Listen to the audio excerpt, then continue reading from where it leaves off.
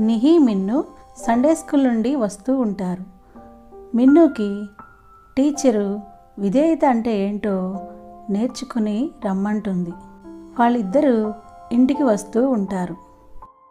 మిన్ను ఒక్క టీచరు నాకు విధేయత అంటే ఏంటో రాసుకొని రమ్మన్నారక్క. అవునా?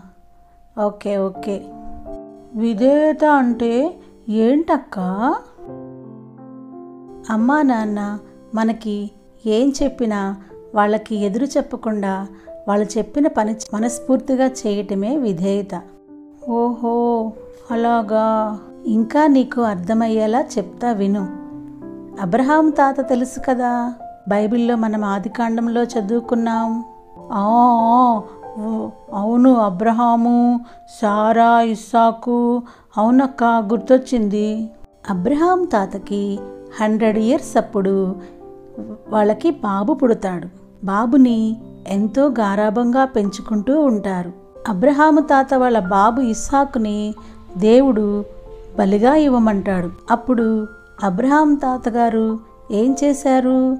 మారు మాట్లాడకుండా బాబుని తీసుకుని బలి అర్పించటానికి మురియా కొండకు వెళ్ళారు. అబ్బా ఎందుకు అడగలేదు? అబ్రహాం తాత ఎవరైనా పిల్లోడిని అడిగితే ఊరుకుంటారా? దేవుడు ఎందుకు అలా అడిగాడక్క? అబ్రహాం తాత ఎందుకు ఊరుకున్నాడు? ఇవ్వననొచ్చు కదా? అలా అడిగితే అబ్రహాం తాత విశ్వాసులకు తండ్రి అని పిలువబడేవాడు కాదు కదా. విధేయత కానీ విశ్వాసం కానీ నమ్మకం కానీ అబ్రహాం తాతకి దేవుని మీద ఎంతో గొప్పగా ఉండేవి. ఆది కాండం ఇరవై రెండవ అధ్యాయము ఐదవ వచనంలో అక్కడ పనివారితో మీరు ఇక్కడ ఉండండి మేము వెళ్ళి దేవునికి రొక్కి మరలా వస్తాము అంటాడు. ఇస్సాకును బలి ఇవ్వటానికి వెళ్తుంటే మళ్ళీ ఇస్సాక్ ఎలా వస్తాడు? తను ఒక్కడే రావాలి కదా. కానీ మళ్ళీ వస్తాము అని ఖచ్చితంగా చెప్తాడు.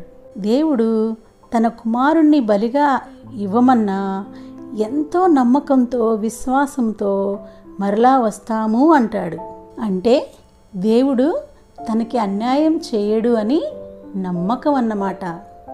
అలాగే కొండ మీదకి వెళ్ళాక బలి అర్పించటానికి కట్టెలు పేర్చి ఇస్సాకుని దాని మీద పండుకోబెట్టిన ఇస్సాకు ఏం మాట్లాడలేదు. ఇస్సాకు కూడా తండ్రి మాట అంటే ఎంత విధేయత చూడు? విధేయత అంటే అది. అర్థమైందా? ఆ, అర్థమైందక్క. ఇంత క్లియర్గా చెప్పావు కదా ఇంకెందుకు అర్థం కాదు? సరే ఇంక పద గబగబా వెళ్దాం. అమ్మ మన కోసం ఎదురు చూస్తూ ఉంటుంది. చూశారుగా పిల్లలు? అబ్రహాము దేవుని పట్ల ఎంత విధేయత కలిగి ఉన్నాడో అలాగే అబ్రహాం పట్ల తన కుమారుడైన ఇస్సాకు కూడా అంతే విధేయతను కలిగి ఉన్నాడు.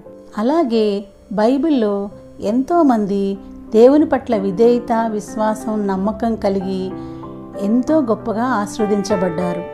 మనం కూడా మన తండ్రి అయిన దేవుని పట్ల విధేయత కలిగి విశ్వాసముతో ఉన్నట్లయితే మనం కూడా ఇహమందు పరమందు ఆశీర్వదించబడతాం. మన విశ్వాసంలో కానీ ఎటువంటి అవిశ్వాసం ఉండకూడదు. మన విధేయతలో కానీ ఎటువంటి అవిధేయత రాకూడదు. మన నమ్మకంలో ఎటువంటి అపనమ్మకము రాకూడదు. సంపూర్ణంగా దేవునిపై ఆధారపడాలి. దేవుణ్ణి విశ్వసించాలి. అట్టి కృప మనందరికీ తోడై ఉండిన కాక. మరొక ఎపిసోడ్లో మళ్ళీ కలుద్దాం. బాయ్!